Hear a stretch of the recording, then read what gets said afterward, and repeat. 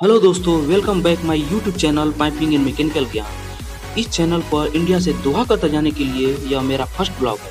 अगर आप भी दोहा कतर जाने के लिए पासपोर्ट लगाए हैं या जाने वाले हैं तो इस समय कौन कौन से डॉक्यूमेंट का ज़रूरत पड़ रहा है और क्या क्या रूल्स एंड रेगुलेशन है, तथा कतर जाने के बाद कहाँ क्वारंटाइन होना पड़ रहा है, ये सब इस वीडियो में जानेंगे।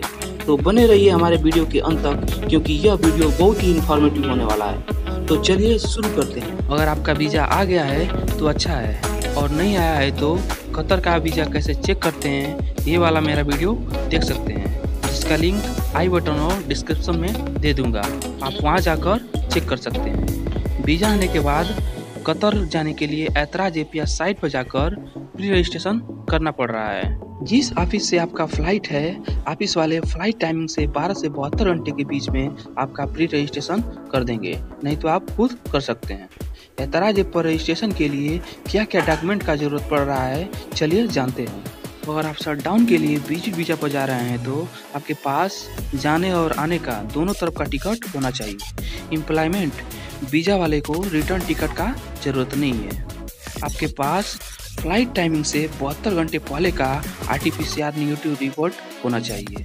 अगर आपका मुंबई से फ़्लाइट है तो फिर ठाकरे हॉस्पिटल से आप R T P C R करा सकते हैं, जो सेक्टर पंद्रह नेरुल, मुंबई में है। यहाँ पर फ्री में R T P C R होता है, नहीं तो आप प्राइवेट हॉस्पिटल से भी करा सकते हैं, जहाँ पर सात से नौ सौ रुपया लगेगा। उसके बाद आपके पास होटल या मोटल का बुकिंग पेपर होना चाहिए। अगर होटल का है तो दो दिन क्वारंटाइन होना पड़ेगा। और मोटल, यानी कि कतर गवर्नमेंट का है तो यहाँ पर सेवन डेज़ क्वारंटाइन होना पड़ेगा। आपके पास visa paper visa entry paper R T P C R report hotel booking paper होने के बाद फुली वैक्सीनेशन सर्टिफिकेट भी होना चाहिए। ये सब पेपर होने के बाद, एतराज़ ऐप पर प्री रजिस्ट्रेशन कंप्लीट होने के बाद, अब आप कतर जा सकते हैं। मेरा फ़्लाइट मुंबई से था। एयरपोर्ट पर चार से पाँच घंटा पहले पहुँच जाएँ, क्योंकि आपके पास अगर टाइम रहेगा तो आपके डॉक्यूमेंट में कुछ गड़बड़ रहेगा तो सुधारा जा सकता है। सबसे पहले जब एयरपोर्ट पे पहुँचेंगे तो सी पहले आपका डॉक्यूमेंट चेक करेंगे। उसके बाद अंदर जाने देंगे। अंदर जाने के बाद चेक इन काउंटर पर जाकर वहाँ बुकिंग टिकट और लगेज वगैरह चेक करवा के बोर्डिंग पास ले लेंगे। उसके बाद सिक्योरिटी गेट की तरफ़ जाएँगे। वहाँ आपका बोर्डिंग पास स्कैन करेगा और फिर अंदर जाने देगा। फिर एक्सरे मशीन में आपका हैंड बैग वगैरह चेक होगा। फिर सिक्योरिटी वाले आपको भी चेक करेंगे। उसके बाद अपना सामान लेकर इमिग्रेशन की तरफ़ जाएँगे। इमिग्रेशन में आपसे आपका नाम, कहाँ जा रहे हैं, क्या करने जा रहे हैं, ये सब पूछेगा और आपका आई स्कैन करेगा और आपके पासपोर्ट पर स्टम्पिंग करके आपको सारा आपका डॉक्यूमेंट दे देगा और फिर अंदर जाने देगा। उसके बाद आपका फ़्लाइट जिस नंबर गेट से होगा, वहाँ चले जाएँगे और वहाँ जाने के बाद वेटिंग एरिया में वेट करेंगे। जब बोर्डिंग के लिए अनाउंसमेंट करेंगे, तब लाइन लगा लेंगे। बोर्डिंग होने के बाद फ़्लाइट में बैठने के लिए जाएँगे। यह फ़्लाइट के अंदर जाने का एक्सेस है। फ़्लाइट में अंदर जाने से पहले यहाँ चेक कर रहा है। अपने अपने सीट पर बैठने के लिए आदमी जा रहे हैं। और मैं भी अपने सीट पर फाइनली बैठ गया। यह है फ़्लाइट के अंदर का प्यारा सा व्यू और फ़्लाइट के अंदर टेम्परेचर को कूल किया जा रहा है। और फ़्लाइट टेकअप कर रही है। यह सुबह मॉर्निंग का व्यू है। यह दोहा कतर एयरपोर्ट का नज़ारा है।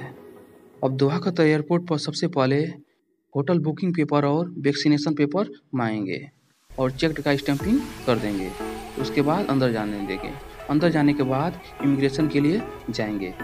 वहाँ आई स्कैन करेंगे और आपका डॉक्यूमेंट चेक करेंगे और आपके पासपोर्ट पर अराइवल का स्टैंपिंग कर देंगे। उसके बाद कन्वे पर आप अपना बैग चेक करेंगे। आपका बैग वहाँ पर घूमता रहेगा। यहाँ से अपना बैग ले लेंगे। उसके बाद दो जगह होटल बुकिंग पेपर भी चेक करेंगे। उसके बाद आपको बाहर जाने देंगे। यह है दोहा कतर एयरपोर्ट के बाहर का व्यू। यहाँ पर आपके पासपोर्ट का झेरॉक्स लेगा और बस में बैठने के लिए बोलेगा। और बस से आपको मैकनीज होटल पर जाने के लिए आधा से एक घंटा लगेगा, जहाँ पर आपको वन वीक या दो दिन क्वारंटाइन रखा जाएगा। अब होटल पर पहुँचने के बाद यहाँ पर आपको फ्री में वोडाफोन या रेडियो का सिम मिलेगा। उसके बाद फ्री में यहाँ पर Q smart I twenty twenty mobile मिलेगा। मोबाइल को यहाँ पर अनबॉक्सिंग नहीं करना है। उसके बाद यहाँ पर क्वारंटाइन रहने के लिए रूम का रजिस्ट्रेशन कराना होगा। रजिस्ट्रेशन होने के बाद यहाँ पर एक सेट बना हुआ है, जहाँ पर आपका आरटीपीसीआर यानी कि कोविड टेस्ट किया जाएगा। आरटीपीसीआर टेस्ट होने के बाद ब्लैंकेट पिलो बेडशीट वगैरह ये सब आपको दे देंगे।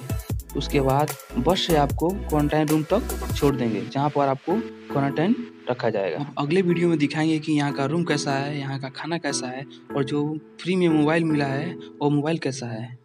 ये सब नेक्स्ट वीडियो में दिखाएँगे। अगर ये मेरा वीडियो अच्छा लगा हो तो चैनल को सब्सक्राइब करना ना भूलें और साथ साथ वीडियो को लाइक करें और कुछ भी पूछना है तो कमेंट करें। मिलते हैं अगले वीडियो में, तब तक के लिए जय हिंद।